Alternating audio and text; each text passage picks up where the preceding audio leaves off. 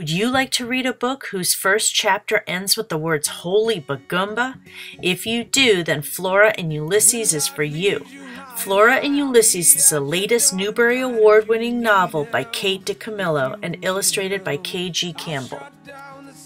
Kate, a self described cynic, lives at home with her divorced romance novelist mother.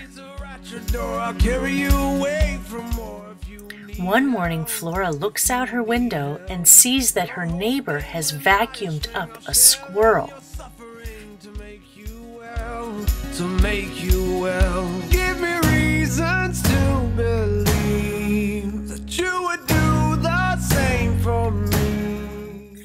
Luckily, Flora has learned CPR from her favorite comic book, The Illuminated Adventures of the Amazing Incandesto, so she does mouth to mouth on the squirrel.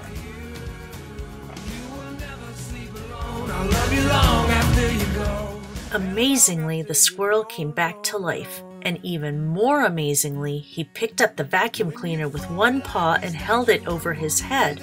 Flora is awestruck she thinks that perhaps she has come face to face with a real life superhero. Has she? Does Ulysses the squirrel have superpowers? Well, I don't want to give too much away, but I can tell you amazing things happen as you read through the pages of this exciting novel.